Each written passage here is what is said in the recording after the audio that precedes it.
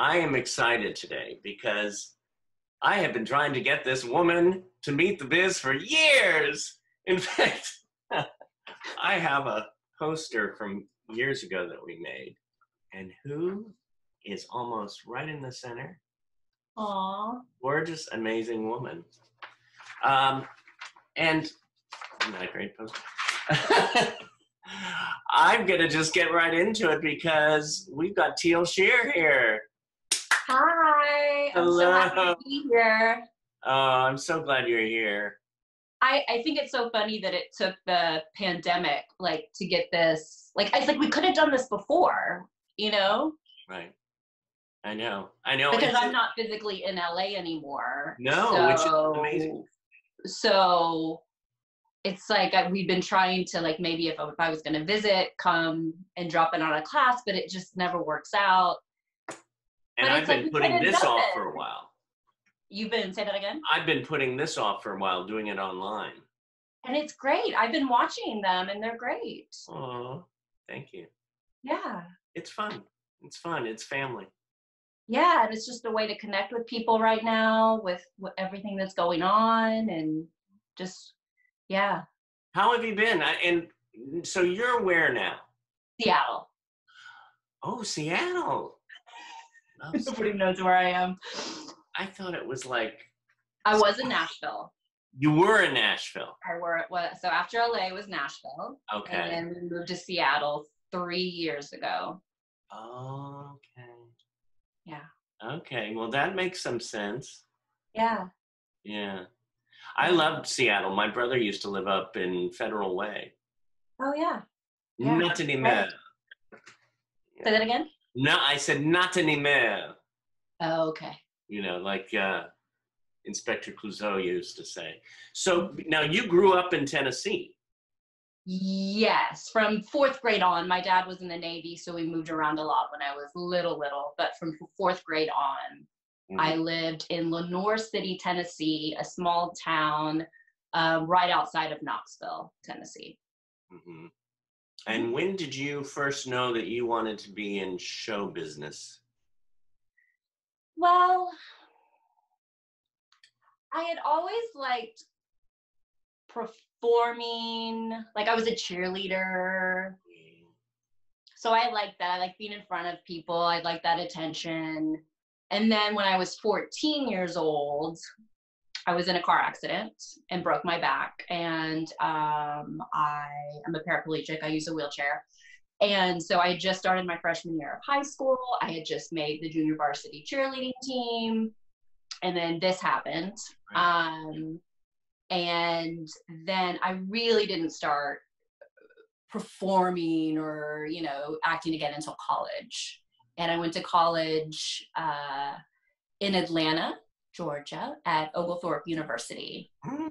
and i thought that i wanted to go into broadcast journalism and as part of that major i took a theater class Right. and just like fell in love and it was game over and um, so then i double majored also in theater and have been doing acting mm, you know pretty much nonstop from that and, it, and, not just acting also working behind the scenes uh producing stage managing anything that's and then also during college at the same time i started dancing with a professionally integrated dance company full Was radius dance Full radius? Yes. So it was like all at once. I'm, you know, I move away from home. I'm in Atlanta. I'm at college.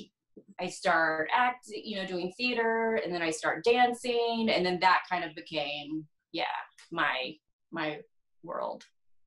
Wow. This is Yeah. great. And when now when did you move to LA or what brought you to LA? Yeah, I moved to LA in 2005. After I graduated from college, I got an agent in Atlanta. Nice. and started auditioning and i booked a an hbo film called warm springs was that Kenneth Branagh? Branagh? yes yes and so i was hired as one of the local actors you know they brought a bunch of the actors in from la and all over but they hired locally for some of the parts so i booked that and that gave me my screen actors guild card Mm. and I also met all of these wonderful people on set. Um, and I also was an advisor to Kenneth Branagh because he was playing FDR, who has polio and is paralyzed. So we got together and um, we met one day at a pool, indoor pool. So I showed him how to how you swim with just the use of your upper body, and also how to walk with braces on your legs. So it was like that was yeah, and I met some LA, uh, some of the people I met on the film, actors as well as the producer and the writer of the film. I'm still friends with today. Okay.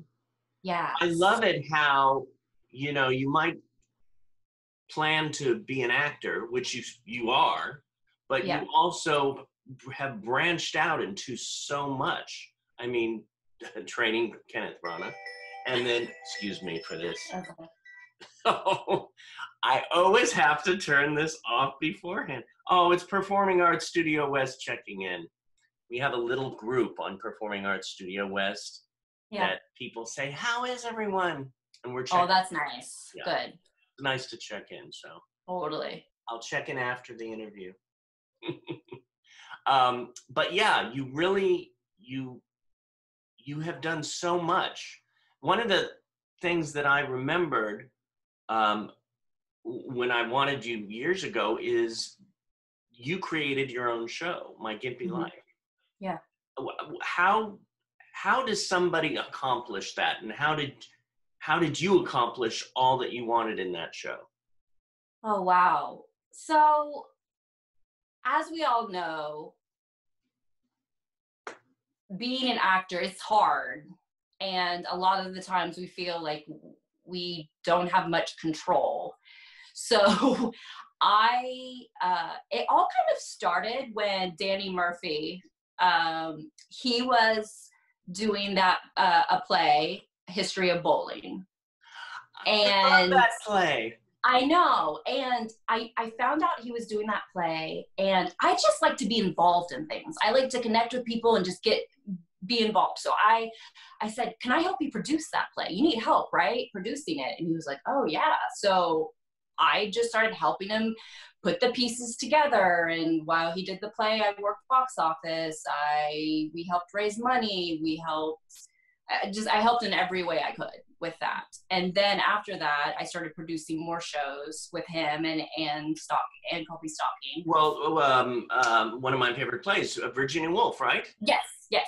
And I saw that one. It was a great production of it. Yeah, so it's just it's that. I I find like that I'm my best self or I'm the happiest when I'm creating and when I'm collaborating with other people.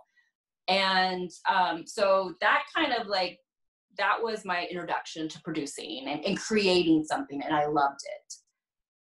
And then my friend Felicia Day created uh, she created a web series called The Guild, which was very popular. And I uh, had a part in that show and it was it was it was great to see what she accomplished with that show how she brought all these people together and created a show that um, she was passionate about and then to see the community that was created around the show once she put it out on you when she put it on youtube so that was inspiring to me and i was like well I, I should do that. I have stories to tell. I have a unique perspective, one that, as we all know, um, you know, is a, is a perspective we don't often see uh, represented. And uh, so, yeah, that's kind of how it all all started. Mm. And then, and then you went in and, and you wrote. Did you you wrote the show, right? No, no, no, no, no. I didn't write. I uh, a, a writer named Gabe Uhr. We collaborated together because I, even though I am writing more now, at the time I um, didn't consider myself a writer, and um, he had written TV and scripts, and so he kind of knew that format, and so we worked together, Right. and he, um, yeah, Well, what's so good too is is that you knew that you know you wanted to create the show, but you know you knew that you needed to collaborate. You knew that you Yes. needed another writer. You needed other people around you. Yeah, I needed people who knew more than me in different areas. And because of working on the guild, I had met a lot of those people, and a lot of those people we brought over um, to work on my Gimpy life. That was such a good web series. I loved it. And, and it had two seasons, right? Yes. Yes. Do you ever want to go back and do a third season, or are you like, no, I want to move forward? Yeah, it's a hard thing. It's like I'd love to do more. I mean, we need. It's like with anything, you need the money. It's a lot of work, um, and I feel like I did two seasons of it. We'll see. Right. We'll see what where things go. But I do miss. I do miss it. Right. Right. I'm thinking of uh, what hit me in my head now when I first got to LA. One of my side jobs was um, craft service on Mhm. Je- Jon Favreau's television show. And uh, he did that for, I think, four years or four seasons, maybe four, four and a half. It was interesting the last season. But I worked on it for, I think, three and a half, four seasons. And, uh, but I always wonder if people like ever go back and go, oh, that would be fun to go back and do a, I don't know, maybe a special episode or something. Oh yeah, like just do a yeah. Yeah, yeah. Now I saw, and this makes sense what I was saying about uh, Seattle. I mean, it, it in a way it doesn't make it doesn't have to make sense because you could live anywhere and go to Canada, but you just did cost of living in Canada. Yes, I did uh, in Vancouver. I was in Vancouver for seven weeks rehearsing, and then we did the show at the Arts Club in Vancouver. And then after that, uh, two months later, we took that same show up to Edmonton to the Citadel Theater, which was that. It, yeah, it was fabulous. I mean, it was it was in January, so it was like negative forty there. Oh my god! Uh, but Was that this January? Yes, I was just there. It's so crazy because it seems like a lifetime ago because of what's happening right now. But it was crazy to think I was just up, you know, January and then the beginning of February doing a show. Like, God. like, yeah, Talk about like boom. I know. I know. And then I was supposed to be doing the Seattle cost of living. Right, We should have been in rehearsals right now, but uh, you know. right. Yeah. That is such a good role. I mean, I would love if it if it opens up again after the quarantine's over. Hopefully. Keep me updated because I'd love to see you in that. Yeah, it's such a great play and role. Yes, role and yeah, it's Now you- Talk about writing. You write for New Mobility. Yes, I do. I am their media columnist, so that's great. It's fun to write about, you know, the business and whatnot, and then yeah, I'll write other other articles for them too. Um, but that's been a lot of fun. Um, it's it's uh, great because you can do it from home. It's flexible in that way, and then it's another way for you know me to be creative and put things out there. One one thing that I so admire about you is that you yes you want to be an actress and you are an actress yes you wanted to be a writer and now you're a writer and yes you wanted to have a family and now you have a husband and a son Yes, River. He's five. I can't believe he's five. That goes so fast. wow but you Yeah. do it all i mean here Well, well yeah, yeah. I mean, I do do it all, but it is like it's it's hard. I mean, like people talk a lot about how do you balance it all. It's definitely like I don't feel like you can really balance it. It's like when I was in Canada doing the show, I was in Canada doing the show. Like I left home and was away. And yes, when I was in Vancouver, my husband and son came to visit a couple times, but you know, I that was that was hard. Um, you know, my family. And then um yeah, so you just you know, when I'm home with my son, I try just to focus on him right and then when he's usually at preschool, I try to then focus on writing or if I have an audition or whatever. And, but it's, yeah, it's a lot of, yeah, you just. One of your, um, oh, wait, you know, I was looking through your website, which is wonderful. I mean, so photogenic. When I saw that picture of you with Dustin Hoffman. Oh, yes, yes. That was great. It the for what the American Voices. Yeah, the Broad Stage uh, in Los Angeles. They had just opened, hmm and they, it was their inaugural show called American Voices, and the producer i think found me online through my website they were just looking for a diverse cast and i guess they decided they needed somebody with a disability and they googled it and somehow i came up Hmm. and was so random i mean this and this is, just shows you how crazy this business is Yeah. i'm just like at, at my apartment and then all of a sudden i get a call from this lady saying i'm a producer for the show uh, this play, American Voices. Dustin Hoffman is directing it and he's going to be in it. He'd like to meet with you. Can you come to his office today? And I'm like, what? Sure. So Like- wait, Dustin directed it. yes. Oh, great. So next thing I know, a couple hours later, I'm driving into, I think Brentwood is where, to his office in this high rise. And then I'm waiting in the waiting room and they give me some side, like some things. And then I'm in the office with him. oh my God. reading with him and I'm just and then it seems like it's going well. I don't know. And then I leave and then I don't hear anything. Yeah. and then I think a week later they're like, "Oh yes, you got it." Ah, Um and then it's like I get there and there's like Annette Bening is in it, James Cromwell, Rosario Dawson, Richard Schiff. And I'm kind of like, what am I doing here? What is happening? like well, because But- you you you were you were one of them. You are one I of them. think it was just because like a they just wanted somebody with a disability, so this that's that's how I got like that got me in the door, I guess. And then I guess it's just because I yeah was on they found my website like yeah, but you were good enough to get the role. yeah I know. Yeah, sure. Sure. Dustin Hoffman hanging out there. I I met uh, I met him on the set of the Fockers, and Yeah.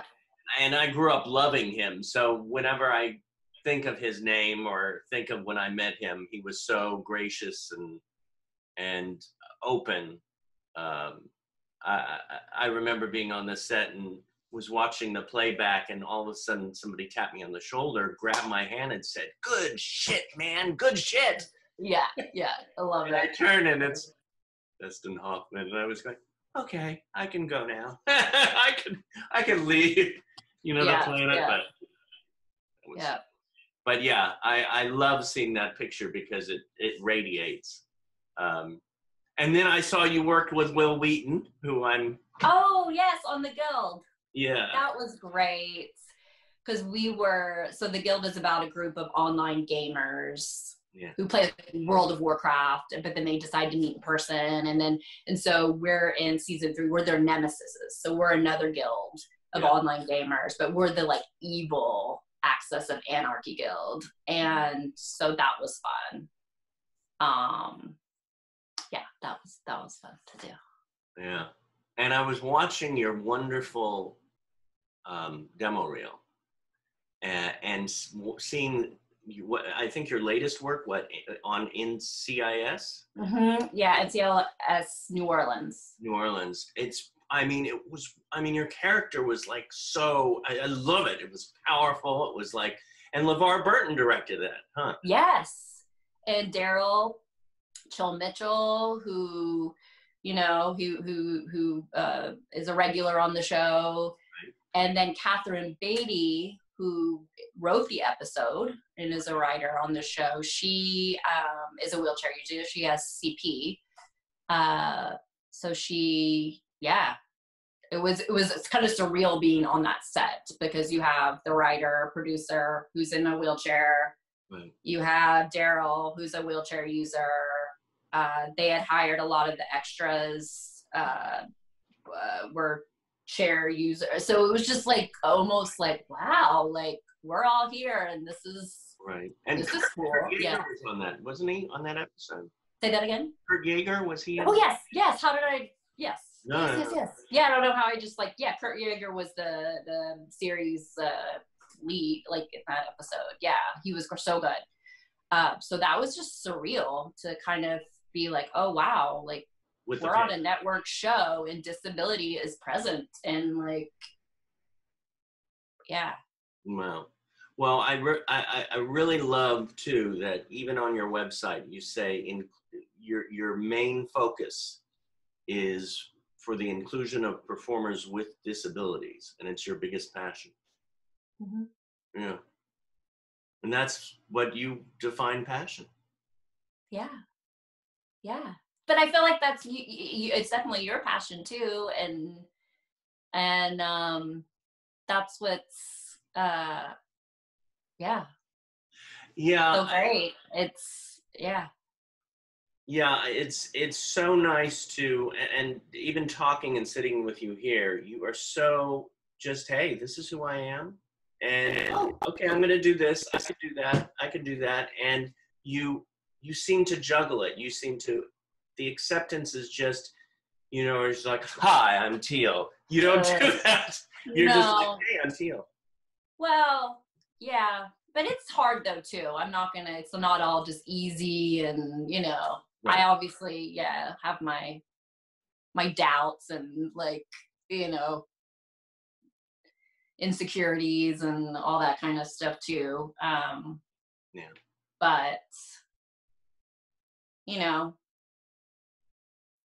So still somehow put it out get it out there or try to yeah if you had to tell the students uh, from Performing Arts Studio West and Meet the Biz and whoever else is watching there, what is one piece of advice you would give them about going for it? about going for it You know, whatever you want to go for. Yeah. Well, I always kind of ask myself, like, if I don't do this or if I don't try for this, am I going to look back one day and regret it? And I use that a lot in my life. And so I think about that. Like, am I going to one day look back on my life and be like, Teal, why didn't you try to, you know, do my Gimpy life? Or why didn't you try to produce that play? Or why didn't you write that article? Or whatever. So I, I, think about that because like, what do you have to to lose?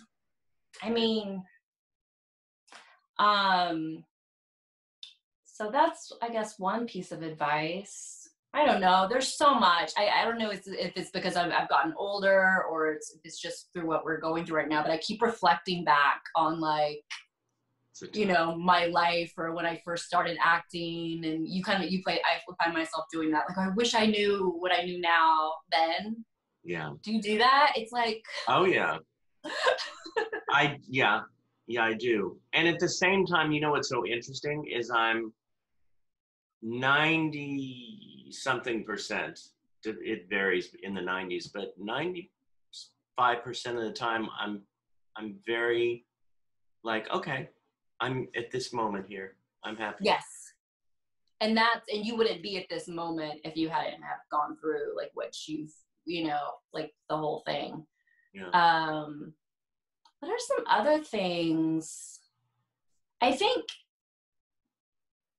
it's really to just and we're dealing with this now i and, and i think as a as a in the entertainment industry we and i talked about this a little bit earlier earlier it's easy to feel like you just really don't have control over a lot of things. Yeah. and we're feeling that right now with the pandemic. It's like so it is just to trying to focus on like well what can you control and whether that's your training or building a community of people. So you have a support group and you have you know just your safe haven of of people that you can turn to um, whether it's creating creating something whether it's like whatever. It's like so just trying to focus on that and what brings you joy. And to just knowing that like you know this this career it's like a marathon you mm. know? It's not we're in it it's not just things aren't just gonna happen and then you know it's Yeah. and nothing happens when you want it to. I feel like things like it's so interesting how things that i wanted maybe to happen 15 years ago or 10 years ago that they may come back around in a different way and you're like oh that happened but yeah but not in the way i expected it to or not definitely not on the timeline that i wanted it to happen um yeah Thank you, Teal. you're welcome I I can now say we now have had Yay. every one Yeah. of these on our show, including this yeah woman, which is right. yay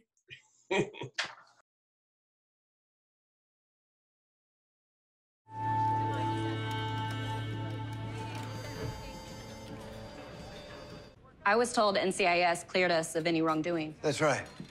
You need trained professionals that know what to look for. That's all of you. If you're up for it. We're in. Diane, drive in here! Wow. She on a ramp or something? Get Clayton Beckwith on the phone. Is this about the 45? You know your firearms. I know 45s. I still have a bullet fragment between my T3 and T4. That's how I got like this. My sister shot me on accident. By accident. Oh God, I'm I'm so sorry. Hey, freedom isn't free. That bullet could have just as easily missed me and hit a Muslim extremist. What kind of friend would I be? Mr. Flaherty, employee number 33. Whoa, easy there. I'm a fucking animal. Oh, you were with the bald nutsack who pushed me around. I'm Venom. I'm the one who can't walk. God, I hate you guys. There isn't a natural disaster big enough to kill all the people I hate, including all of you. Hey! Stop pushing me! What? Hey! Oh my god, help! Help! Control your steed, woman! Sir, this man just assaulted me. He almost pushed me out into traffic. I did nothing of the kind. Venom's a teacher? Art. I like to give kids an outlet for their hate and misery. Tank, are you seriously okay with this? She's not here. And I'd rather take a bath with a toaster than listen to this. And action! Literally, no job is too rough or too delicate. And squid action! Even when. Ow! Ow! Ow! Even when grime gets mean, there's nothing to hope so. Ugh, can't clean. Good, now, now fight. Fight, Teal. Keep battling. Good. Ugh, Fight it! um, Milo! Look, this is crazy. We're not enemies, and I bet we have a lot more in common besides our names. Like what? Besides the fact that you're trying to steal my acting gig. I just think that we may have a similar perspective. You don't know me. I'm not saying that I know what it's like to be you, but look around. We're both sniffing butts and we can't get served. Well, you know what, bitch? You're about to get served. Crap. Are we about to have a dance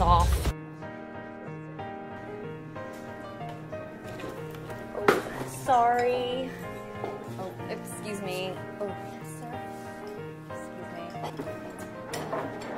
me. Sorry, I'm late. That's okay. I'm glad you can make it. Amy's told me a lot of really great stuff about you. Same. Although she didn't say much other than you're super cute. Blush. uh, well, I'm a performer too. You are? I'm a juggler. I juggle. Oh, uh, where did you learn that? Well, I grew up in Alabama and I, I did gymnastics and um, I trained with a professional juggler there. And that's actually.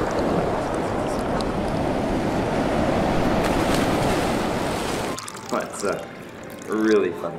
I'm sorry. Where's the bathroom? Yeah, it's just right over there next to the entrance. Ugh. Wish me luck. If I'm not back in five minutes, send help. Break a leg. Oh, that's a good one, bitch.